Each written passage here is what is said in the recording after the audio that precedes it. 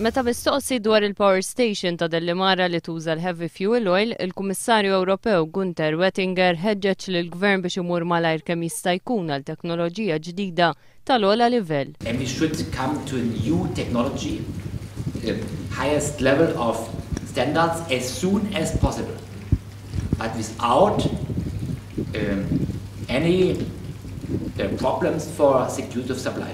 Dan jikkuntrasta mad-deċiżjoni li ħa l-Gvern li għall-estensjoni tal-power station ta' Dell Imara għażel li jmur għal heavy fuel oil, l-iktar teknoloġija li tniġġes.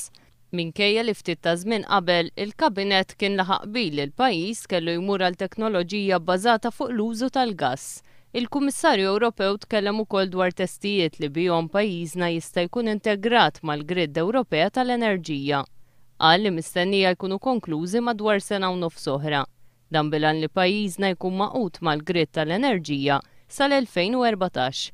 Dwar il-pjani għall-interconnector bejn l-Italja, Sqallija u Malta, Oettinger qal li dawn għandhom jitwettqu sa sentejn jew tliet snin oħra b'għajnuna finanzjarja mill-Unjoni Ewropea.